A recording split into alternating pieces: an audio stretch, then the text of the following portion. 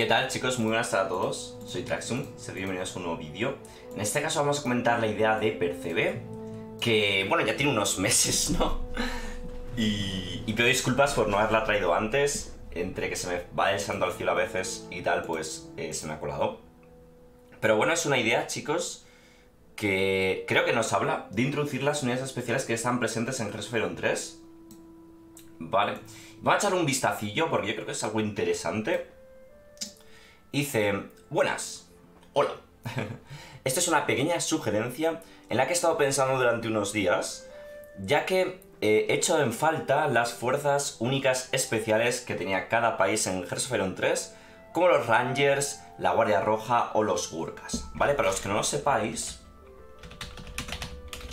eh, con el The Legendary Finest Tower en, Iron 3, si no me equivoco fue este, ¿vale? Igual me estoy confundiendo.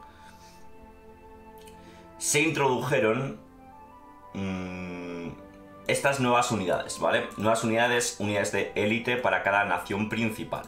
Importante la nación principal porque nos puede recordar, por ejemplo, a elementos como el recientemente añadido de los. de los. de las armas estas ferroviarias. Ya sabéis, los cañones estos que van en los ferrocarriles ahora en Hearthstone 4. Que ya sabéis que los países principales tienen modelos únicos. Pues un poco como sucede, sucede con eso, ¿no? Que justamente, pues, Estados Unidos, eh, Alemania, etcétera, etcétera. Los Gurkas no sé de quién coño son, sinceramente. Eh, suena a la India, ¿no? Pero del Nepal. Dice historia sobre los Gurkas soldados del Nepal. Bueno, ¿qué quiero decir? En plan que estas tropas, pues molaría un montón, ¿no? Y darían como ese toque especial a ciertas unidades. En cierta medida ya están, ¿no? Con el tema de las plantillas. No, en cierta medida están con el tema de las plantillas, pero no es como realmente que sean unidades especiales o tengan modelos únicos o algo así, ¿no? Y tendrían que ser unidades un poco... No sabría deciros si de marines espaciales o algo así, pero bueno, la verdad que la idea suena muy, muy chula. O sea, digo que no tendrían, en mi opinión, ¿eh? No tendrían por qué estar súper, súper chetadas, pero simplemente existirá a nivel de darle cierto flavor, ¿no? Y podrían funcionar... El tema es que creo que no hay suficientes como... Eh, elementos con los que jugar para tener unidades especiales en Hearthstone 4, ¿vale? Más allá de las plantillas y de las composiciones de plantillas.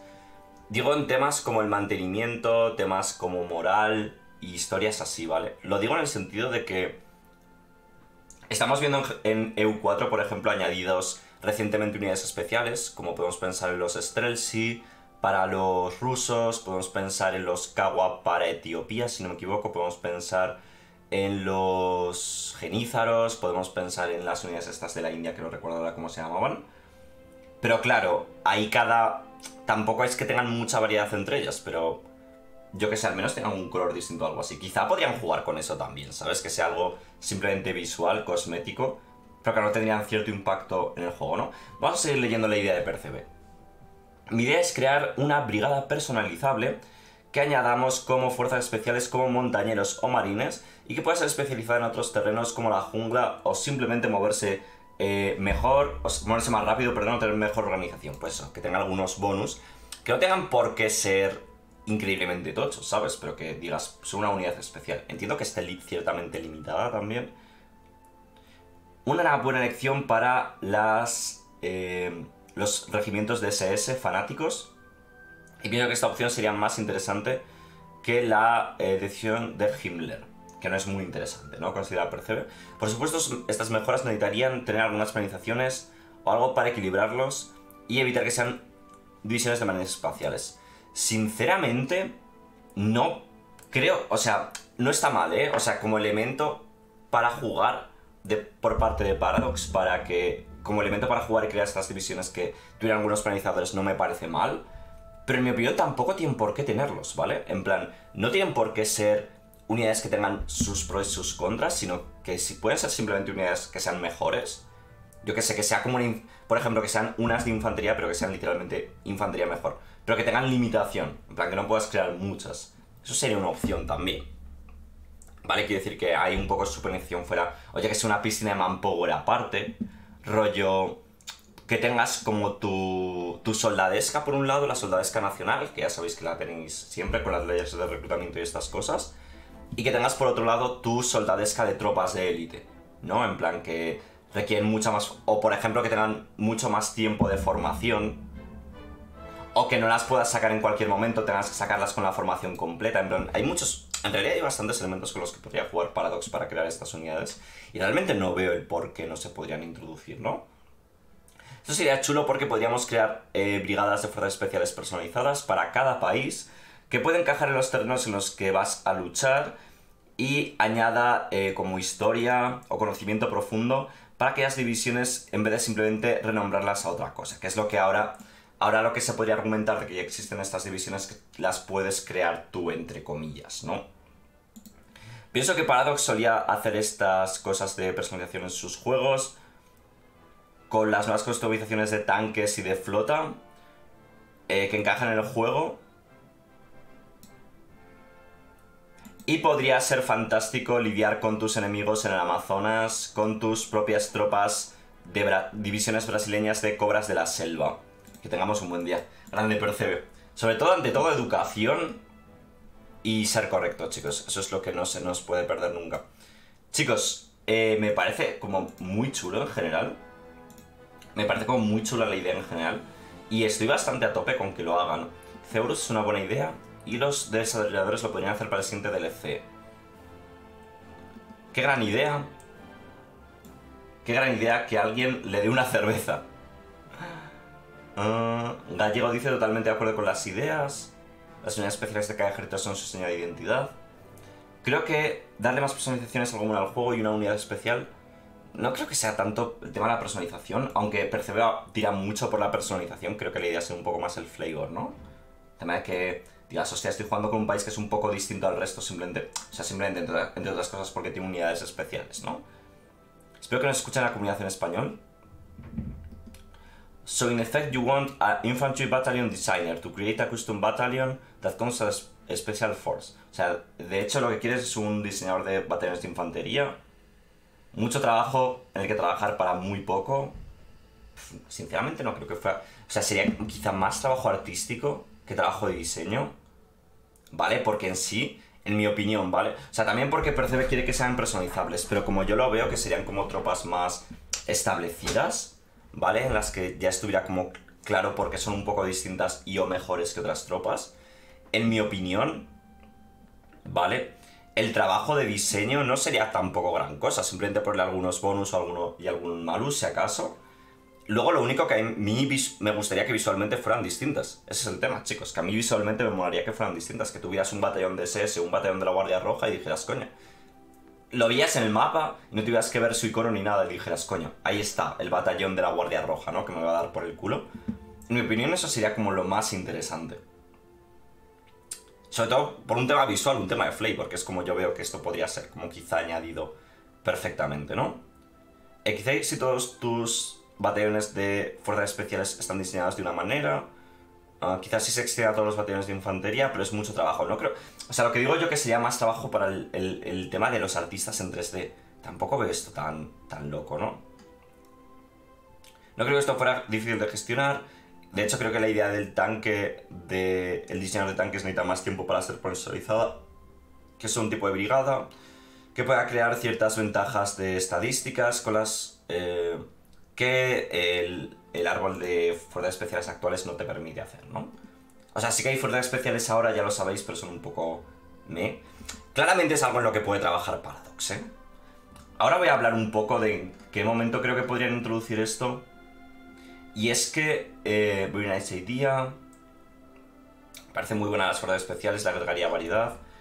O sea, en mi opinión, chicos. En mi opinión, yo lo he dicho esto varias veces. Paradox no tiene por qué hacer más DLCs de mecánicas en Hoi 4, ¿vale? No digo que no quepan, pero digo que perfectamente puede no hacer DLCs de mecánicas, ¿vale? En el sentido de que ya sabéis que quedan como varias regiones en las que necesitan como contenido eh, de flavor o cosmético. Eh, principalmente, que se me ocurra, son em, Sudamérica, es Escandinavia, es Oriente Medio, es, África también, si quieres. Es también, por supuesto, Italia, ¿no? Pero quiero decir que todo esto te puede encajar en DLCs pequeñitos estilo el del Battle for the Bosphorus, ¿sabéis? Entonces, yo recuerdo... Vamos a la wiki de Paradox. Yo recuerdo en la wiki de Paradox cuando ponían un poco los objetivos que tenían... Mm, así lo podemos encontrar. Cuando mencionaban como un poco los objetivos que tenían a nivel de... De futuro, ¿no? A ver, el roadmap update. Creo que aquí lo vamos a poder ver. Vale, aquí por ejemplo, cosas que faltan de hacer que tengan claro, ¿vale? Mejoras en la estabilidad del frente de batalla. Mm, no sé si esto estará cumplido o no. Un sistema de logística, esto lo acaban de introducir con el No Step Back.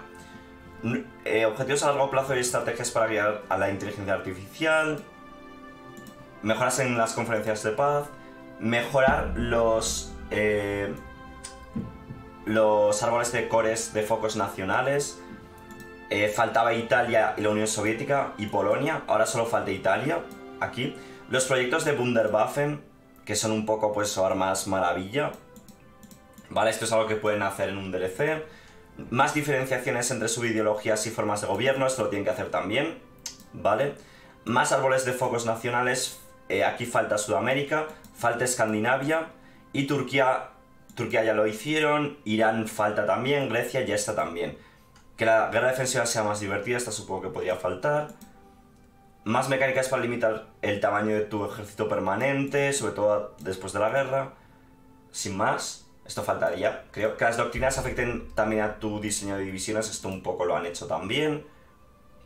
Eh, mejores, mejor calidad de vida, reequilibrar a los ministros, mejorar las mecánicas de, de, de clima, lo han hecho ya y mejoras tácticas y estratégicas. Entonces nos podría crear, quedar... O sea, aquí como veis no aparece la sugerencia de Percebe, no aparece las unidades especiales. Pero yo creo que podrían entrar en algún momento, ¿vale? Entonces aquí lo más tocho que nos queda son los proyectos de Wunderwaffen y las diferencias entre subideologías. Entonces yo entiendo que de haber un gran DLC final sería... De los, un gran DLC, el último gran DLC podría ser Italia, por ejemplo, Italia más Escandinavia, ¿vale? rework a todo el tema de las ideologías, los proyectos de Wunderwaffen y podría entrar también lo de Percebe, sinceramente. Podría entrar lo de Percebe totalmente. Pero bueno, ya veremos en qué acaba saliendo, ¿no? ¿Qué acaban haciendo el año que viene eh, Paradox? Yo supongo que ahora lo que vendrá es un DLC de, de Flavor. Entiendo para Sudamérica o para, o para Oriente Medio. Yo creo que es lo que vendrá ahora, un DLC de Flavor en plan Battle for the Bosphorus. Y, y luego si vuelve a haber una gran expansión, pues entiendo que será Italia, Escandinavia y todo eso, ¿no? Pero bueno, es mi teoría, chicos. Y una gran expansión pues tiene que tener más contenido, ¿vale? No creo que se queden solo en el Wunderwaffen y en el rework ideológico. Y el rework ideológico tampoco tendría mucho sentido que sea de pago, ¿no? Entonces, porque es contenido que está gratuito en el juego. Y es algo que puede ser muy chulo. Quizá algún elemento también extra de gestión, rollo, no sé si dinero o algo con lo que trabajar un poquito más. Pero bueno, hablaremos de esto en el futuro, chicos. Nos vemos en el siguiente vídeo. Chao, chao.